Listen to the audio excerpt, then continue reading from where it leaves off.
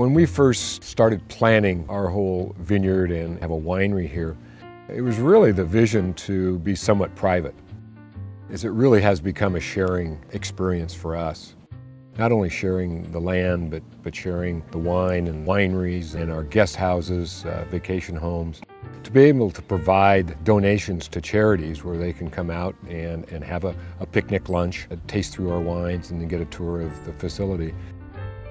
Sustainability and the environment has really captivated me. It led to certainly putting on uh, the first solar panels in the Northwest in a winery and then creating the first gold LEED certified building uh, of a winery structure in the United States.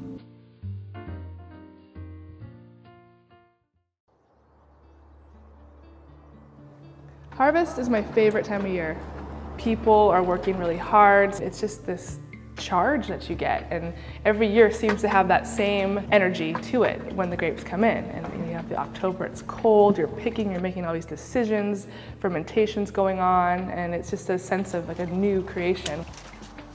Stoller style we're going for elegance. Elegant yet powerful wine so uh, the grapes that our site grows, we lend to a very fruit-forward wine. We have our early ripening site. We've got Jory soil, that's that red, volcanic, well-draining soil. And our site is a moderate elevation between 200 and 650 feet.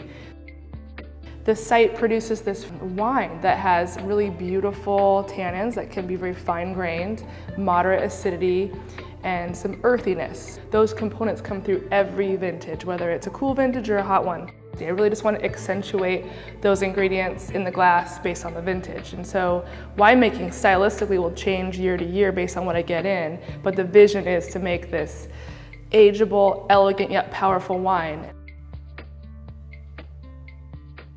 We always have in our mind the style of which wine we're trying to create. So we come to the table knowing we're making ultimately two main blends. The JV is intended to be consumed at an earlier age, very approachable, and a set style, and so is the SV being a cellarable, ageable, elegant, complex Pinot Noir. So we take those visions to the table when we're blending, and we work with the pieces that we're given to create those two different blends.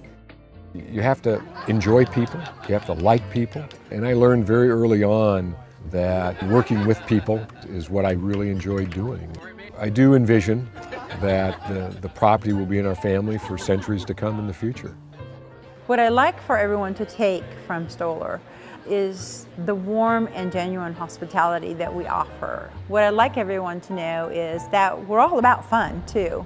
So along with the wines come great fun, disc golf, picnics, patio settings, and all of the events. Sometimes the events are only for our club members, so we encourage everyone to join.